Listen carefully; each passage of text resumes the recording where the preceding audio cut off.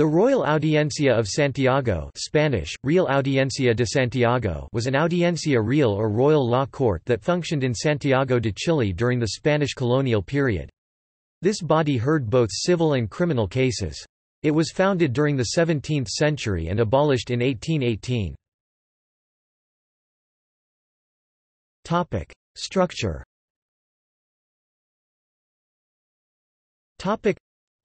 Law 12 Audiencia y Chancillería Real de Santiago de Chile of Title 15 de las Audiencias y Chancillerías Reales de las Indias of Book 2 of the Recopilación de Leyes de las Indias of 1680 which reproduces Philip IV's decree of February 17, 1609 describes the limits and functions of the Audiencia.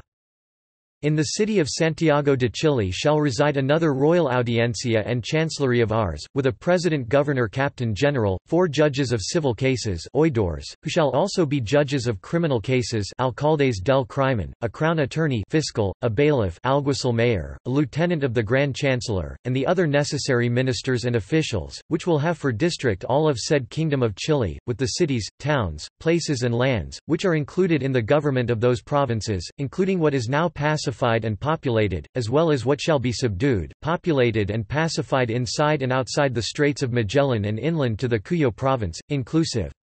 And we order that said President Governor Captain General govern and administer its government in all matters and by all means, and that said Audiencia, nor any other minister interfere in this, except our Viceroy of Peru, in the cases, which comply with the laws in this book and as permitted by our orders, and that said President do not intervene in matters of justice, and leave the oidores to decree in them freely, and that all sign that which they decree, sentence or dispatch. The province of Cuyo was transferred to the Audiencia of Buenos Aires, when the Viceroyalty of the Rio de la Plata was created in the late 18th century.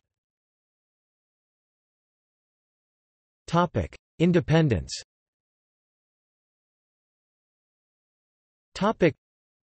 the Audiencia continued to function after the establishment of the first government junta of the Kingdom of Chile on September 18, 1810, until the Figueroa Mutiny of April 1, 1811. In fact, its regent, Fernando Marqués de la Plata, was elected as one of the junta's members.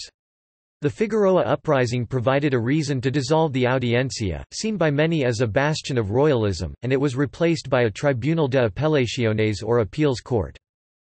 With the temporary return of royalists to power after the Battle of Rancagua, the body was reconstituted by the new governor Captain General, Mariano Osorio.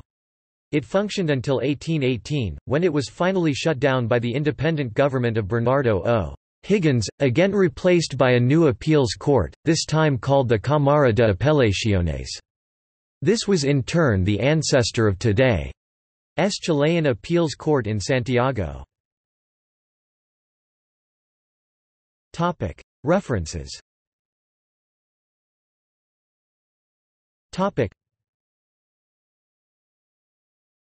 Topic. Sources Topic. Barrientos Grandon, Javier 1992, Las Reformas de Carlos III y la Real Audiencia de Santiago, en temas de Derecho de la Universidad Gabriela Mistral, N2. p. 23–46 Barrientos Grandon, Javier 1993, La Real Audiencia de Concepción 1565–1575, en Revista de Estudios Histórico Jurídicos de la Universidad Católica de Valparaíso, Volume 1992–1993, n15. p. 131–178 Barrientos Grandon, Javier 2000, La Real Audiencia de Chile. La Institución y sus Hombres 1605–1817, Madrid, Fundación Histórica Tavera. CD-ROM, Nuevas aportaciones a la historia jurídica de Iberoamérica.